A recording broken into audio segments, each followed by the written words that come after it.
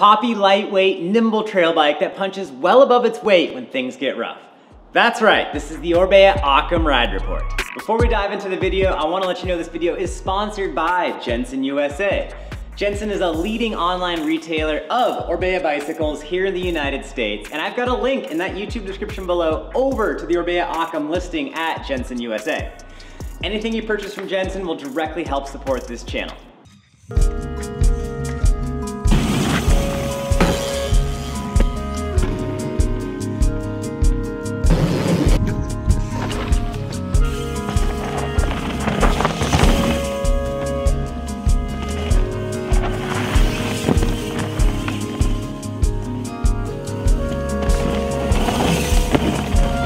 I do talk about bike parts in this episode, so I want to give you a heads up. I have a few other industry affiliations. I'm sponsored by PNW Components, Industry 9, Kali Protectives, Kitsbow Cycling Apparel, and Shimano.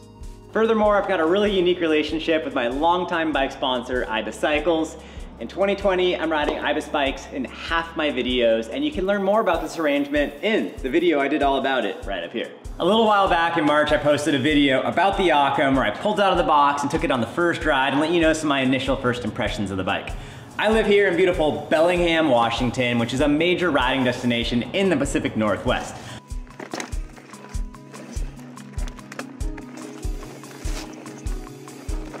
William of Occam was an English friar who lived from 1287 to 1347 AD. Now our pal Billy was once quoted as saying, entities should not be multiplied without necessity. That's roughly translated into English as the simplest solution is ultimately the best. Orbea has taken that philosophy, they've wrapped it in carbon fiber, they've applied a one-sided brace from the seat tube to the down tube, they used a simple suspension design, and they put it together into the form of a bicycle. That bicycle is the Orbea Occam, a 140 travel trail bike. This is the first Orbea bicycle I've ever ridden, and I had a lot of fun learning about Orbea as a company. Was founded in 1840 by three Spanish brothers in the Basque region of Spain, and they made handguns and rifles until about 1926 when they took all that steel tubing and manufacturing experience and applied it to bicycles and baby carriages. If you want to know more about Orbea, check out last week's upload, The Story of Orbea. I'll link to it right up here in the YouTube card. I've posted a full eight videos riding the Occam thus far, and you've all been giving me a ton of great questions about it. But by far, the two most common are, how does it compare to the Ibis bikes? And the other is, how is the suspension? Hang on we'll answer both those questions and many more as we get into the video. A little bit of a confession, when I first put this bike together and took it out for a couple of rides, I honestly thought it was more of like a trail cross-country bike and that I might be pushing it beyond its initial design intent, and that made me feel really terrible because the last thing I want to do as someone who's been so related to Ibis in particular over the last decade is to take a bike from a respected manufacturer and then disrespect it by riding it in an environment for which it was never intended. I was really concerned about this, and then I saw the launch video for the Occam, and then a follow-up launch video. I saw this guy hucking like a six or eight foot drop to flat. I saw this French guy doing a little wheelie, and then I saw these Enduro shredders on the Canary Islands just roosting the daylights out of the Occam, jumping it. I even saw a guy roost a tree with the Occam. That made me feel a lot better. I feel like this bike's intended for the kind of riding that I'm doing around here and that I'm not disrespecting it. The Occam is really at its best on natural single track trails. It's got a pretty steep seat tube angle at 77 degrees, which is really nice for those steeper climbs. Now, somewhat more importantly, the bike has kind of a steeper head tube angle. With the 36 150 fork, the bike's at a 66 degree head angle. That's slack enough that you're not gonna be nervous on the steeper trails, but it's not nearly as slack as some of the more enduro race-oriented bikes. That's a really good thing for these more natural trails. The slacker bikes, while they're super fun, they require you to handle the bike standing up out of the saddle, which takes a lot of energy. They also really enjoy fast, gnarly, man-made bike park style trails. The slightly steeper head angle means that Occam is still quite nimble and poppy on flatter, mellower trails, which a lot of natural trails aren't just downhill tracks for hours and hours on end. The Occam's not an enduro race bike, but as an all-around mountain bike, it's actually better than an enduro race bike in a lot of situations. The general kinematics of the design suit the original design intent very, very well. The frame is a single pivot design, and there's an additional pivot concentric to the rear axle that drives the linkage that actuates the rear shock. I didn't notice any pedal kickback while pedaling through rough section. Traction was really good with this setup, and in the tighter, slower portions of trail, if I did end up deeper into the travel, it never lost that playful, poppy feeling. To compare the suspension to the Ibis bikes, yes, it has a bit of a different feel. I would not buy one bike or the other based solely on the suspension design.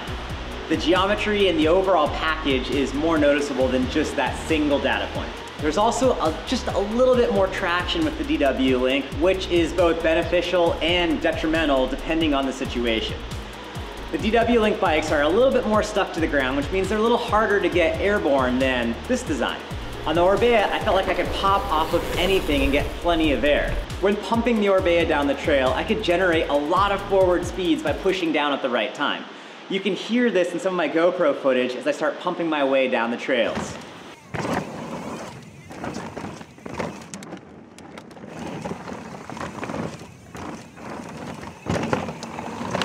Now, when I started to hit trails that had actual man-made jumps, the feel of the Occam was pretty good.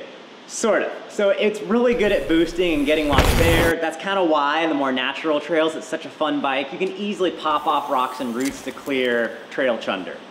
At the bike park though, and on the man-made jumps, it's easy to go really high, but you don't have the quantity of travel and it's pretty easy to bottom this thing out. This bike's super fun, but I keep bottoming it out like none other on bike parky jumpy things. The setup's more for trail riding, so I'm gonna dial it in for our local trail riding, which is like a little bit faster, jumpier than your average raw natural trail. That means volume reducers front and rear. The bigger the volume reducer, the smaller the amount of air volume is available inside the shock, which means it's gonna be more progressive. That curve is gonna be steeper. It's gonna ramp up sooner. I think I'm gonna try a 0.8 right now, and that's almost as big as you can go on that DPX2 shock. There we go. There we go. I've talked about these air volume reducers a few times. They are such a good tuning tool, and it's kind of why I don't have coil shocks on all my bikes.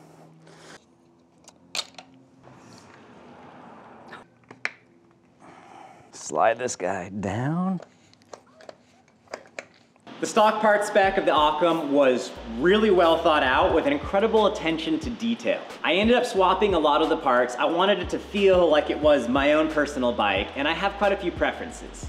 Also, my single biggest complaint with the Occam is its torsional stiffness. Now, I'm riding here in Bellingham. We have a lot of man-made stuff and a lot of high-speed stuff, and that's where you're gonna notice the stiffness the most. With Ibis's Ripmo AF, I noticed that torsionally it's not as stiff as I'd like as well. Some people agree with me, some don't notice it, so this is not a huge deal for a whole lot of folks, but this is my report, and I'm gonna tell you what I noticed. So what did I do? I started swapping parts out with a goal to increase stiffness. On a shorter travel bike like this, 140 rear, 150 front, I feel like all the components and especially the wheels are gonna get hammered. If you have a longer travel bike and you're smashing through the same trail you would on this thing, all the parts on the shorter travel bike are gonna take more impact. The first thing I did was swap off the DT Swiss XMC 1200 carbon wheel set. That's a very fancy, very high-end wheel set, but it was not as stiff as I'd like. I could feel it moving back and forth when I was pumping in and out of corners. If I ever landed a jump sideways, I would feel guilty like I was gonna snap those wheels, and the last thing I wanted to do was break a $2,800 wheel set. So DT Swiss is one of the best hub and rim and even spoke manufacturers in the world. I'm sponsored by a company called Industry 9, and I've got great access to Industry 9 parts. I wanted something stiffer, so I went for an aluminum Industry 9 wheel set called the Enduro 305. And I chose that one because it uses a 30 millimeter inner width rim, plenty wide, aluminum, so it can take a hit and not break.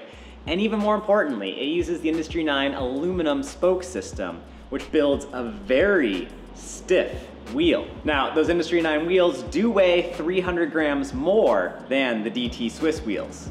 But I'm not that concerned about it. I also swapped off the Maxxis EXO Trail casing tires for some big ol' honkers. If you've been watching my videos for a while, you know that I've been sponsored by WTB. I even used to work there.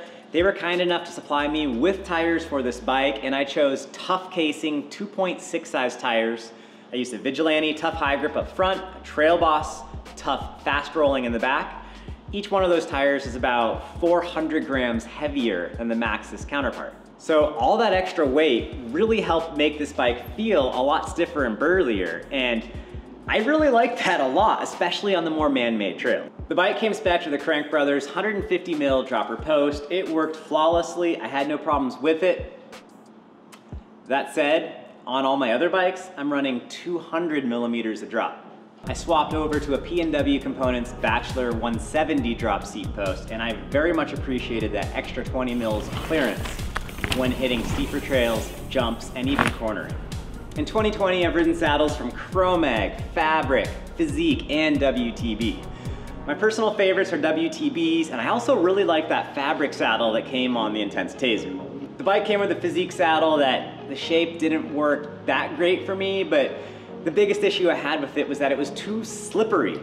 I would literally slide off the back of the saddle on mellow and especially on steeper climbs. The WTB and the Fizik saddle that I like so much have a bit of a scoop to the back of them as well as a little more textured surface. So I swapped over to a WTB Pure saddle. To answer the most common question you've all had, the Occam basically falls between, in my opinion at least, the Ripley and the Ripmo. It has geometry that's very close to a Ripley but then it has suspension characteristics that are a lot closer to a Ripmo. The Occam's chainstays are eight millimeter longer than those on the Ripley, and to me that actually felt really good. The way those chainstays are a little bit longer, it almost feels more predictable, and then when it comes up into a manual, it's almost like you have a bigger float range for balance. The Ripmo has a very different feel than the Occam. The Ripmo's wheelbase is 27 millimeters longer. That's huge. The Ripmo requires a more out of the saddle riding technique and you're gonna need to lean the Ripmo more in corners, whereas on the Occam, you'll keep it more upright and you'll steer with the handlebars a little bit more.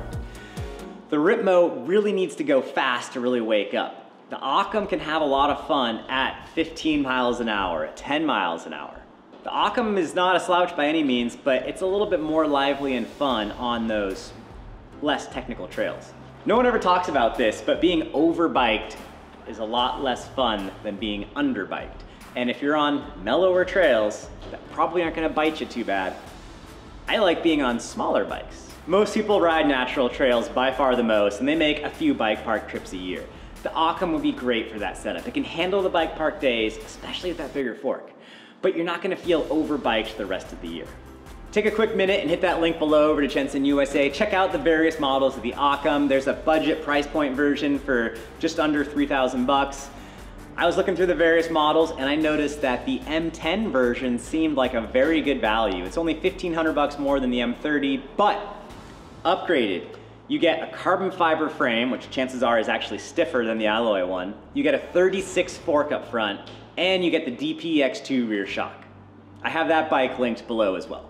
Let's give a huge shout out to Jenson USA for supporting all these different bikes on my channel in 2020. Thus far, I've ridden an Intense Tazer e-bike, a Chromag Stylus hardtail, and the Orbea Occam. Let me know what you guys want to see next. Thank you all for watching this and talking bikes. It's been a pleasure. Hit that red subscribe button below. That'll help all of us out a ton. I'll see you guys on the trails.